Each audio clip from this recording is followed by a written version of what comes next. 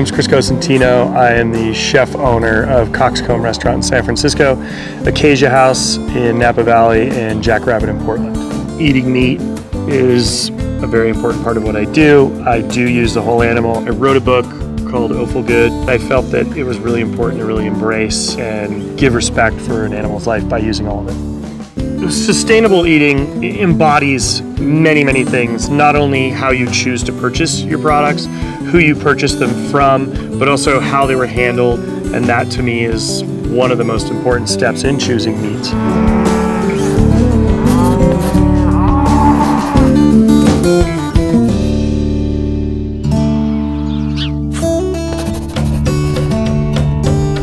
So the reason I came here to uh, C2 Ranch in Medford, Oregon, is to check out this piece of technology called HerdDogg. It's such a cool piece of technology that it can actually take temperature, tell if the animal's acting erratically, if it's been drinking water, if it's missing from the rest of the herd, and it's all gonna show up on a phone. I'm really excited to meet Melissa and just go through the HerdDogg process.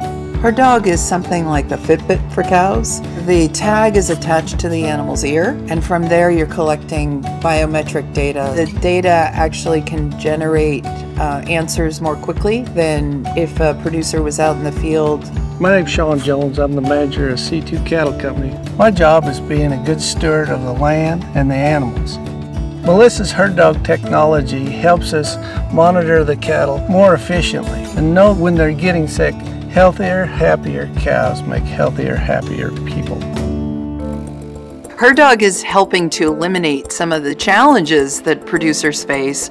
The primary way of detecting ill animals is visual detection. The animals are trying to, by nature, hide their illness, so the likelihood of detecting illness early is very slim. So once the data is collected to the phone, it gets pushed directly to the cloud. So then we create individual animal profiles for all of these girls. If you're trying to identify a particular animal within the herd, um, their LED will turn on. See, like her, she's yep. got her tag lit up. You're a doctor in the sky without poking, prodding, exactly. no temperature no, gauges, no, temperature no needles, gauges. nothing. The truth is the HerdDogg technology is very exciting and it looks like it's something we'll really be able to implement. When you're providing too many antibiotics for an animal, you're helping to create uh, superbugs. I don't wake up every morning and pop an antibiotic pill because it's not good for me. It's not good for anything. So why would we do that to the animals? But also, it ends up in the groundwater, it ends up in the soil because the animals pass it through their system. When you have a situation where animals are sustainably raised, you're omitting a lot of these problems. We neglect to understand that the old way was the right way. So this is the dashboard of some of the animals that we tag. And I noticed something I wanted to show you with number 208. In this particular case, I think she's she's got a raised temperature. You think we ought to go take a look at her in the pasture? Yeah, let's do that. All right. All right. This technology is giving the best treatment without overly impacting the animals. HerdDogg was able to identify an animal that needed some help. And so we were able to come out here today and check that animal with our own eyes and then sort that animal off. Basically, all things need to be treated properly. Whether you're a human or a cattle, whether you're going to eat them or not, they still deserve respect. This is epic. I mean, you've pretty got a swim hole. Swimming hole, beautiful old grill. This is just a sweet spot on the ranch, yeah. So Chris serves us up this comparison between a regular steak from the grocery store and a grass-fed, pasture-raised steak. That is not yours. No, Okay, so that is. that is. Everybody knows fat equals flavor, and let's see which one the, the wasp likes. See? Nature just proved itself right there. Yeah, That's crazy, right? isn't that crazy? I could not believe the difference between those two pieces of meat. Grass fed, not grass fed. This is grass fed meat right here. Vibrant red, okay, really rich. And then you've got this here is non grass fed. It almost looks like pork.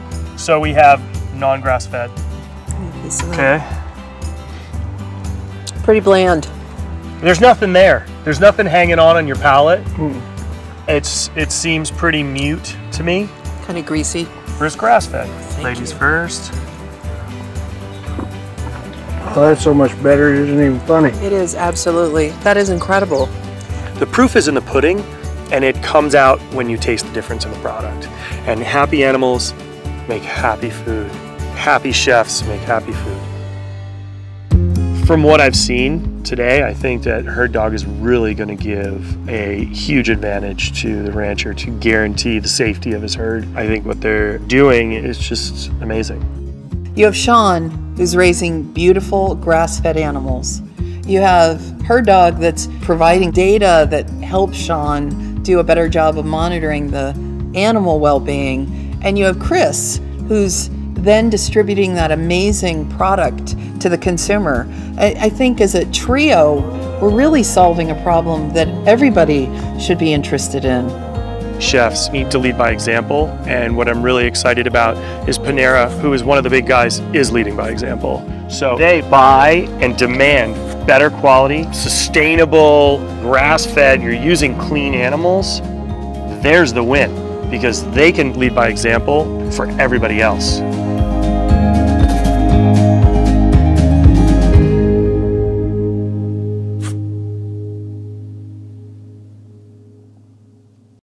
SoulPancake.